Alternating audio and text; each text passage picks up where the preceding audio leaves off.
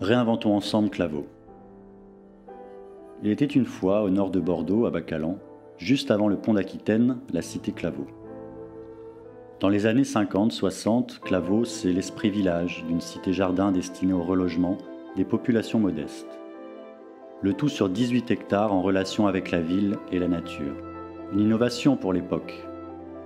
Quatre immeubles collectifs, 405 maisons individuelles, à étages et des services, la piscine, les écoles, le centre municipal avec crèche, le centre social. À partir de 1975, plusieurs vagues de démolition, construction et rénovation se succèdent.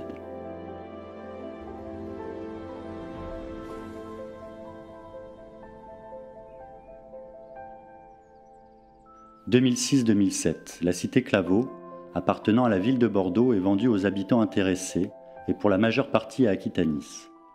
Des associations syndicales libres, les ASL, sont constituées pour assurer la gestion des espaces communs aux habitants, locataires comme propriétaires.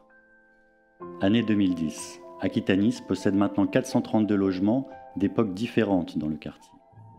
En dépit de réels atouts, Claveau a besoin de se réinventer, car les logements ne sont plus adaptés aux besoins actuels et les espaces publics et communs ont perdu de leur qualité. En juillet 2014, un projet de renouvellement urbain et des investissements sont validés après différentes phases d'études.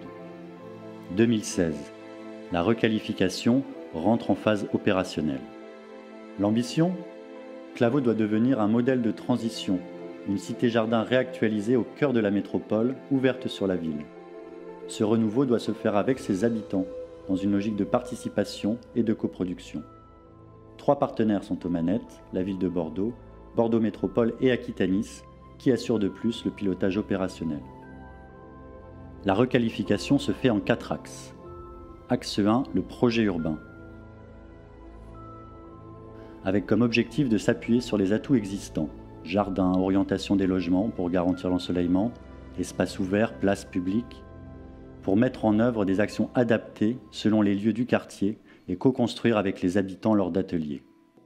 Axe 2, la réhabilitation des habitations propriétés d'Aquitanis, avec comme engagement fort la prise en compte des expériences des usagers et le partage de savoir, avec la possibilité pour les habitants de s'impliquer sous la forme d'autoréhabilitation ou de chantiers collectifs. Axe 3, accompagnement de la réhabilitation des logements privés, avec la possibilité pour les propriétaires de faire appel à des aides pour leurs travaux. Axe 4, développement d'une agriculture urbaine, avec une pépinière plantée et entretenue avec les habitants au cœur de Claveau et la production et la transformation de champignons dans les blocos. En somme, le projet pour la cité Claveau illustre les trois dimensions du développement durable posées par Aquitanis la nature en ville, la compétence habitante, l'habitat essentiel et implique pour tous les métiers et pour toutes les parties prenantes d'autres façons de voir et de faire.